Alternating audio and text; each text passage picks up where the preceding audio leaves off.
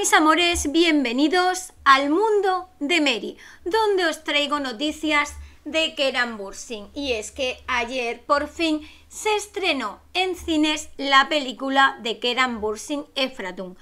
En cines en Turquía, porque aquí en España, como comprenderéis, no se va a estrenar de momento. Porque, chicos y chicas, hay sorpresa.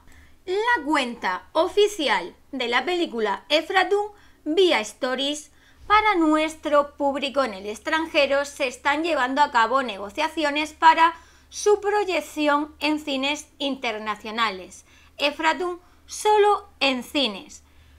Bueno, deseando que esto ocurra. Sería maravilloso ver a Keran en los cines españoles y a nivel internacional. Vamos, un bombazo. La revista pronto se hace eco de las declaraciones de Keran Bursin en la fiesta de Vanity Fair, donde asegura que está aprendiendo español porque quiere participar en una producción española.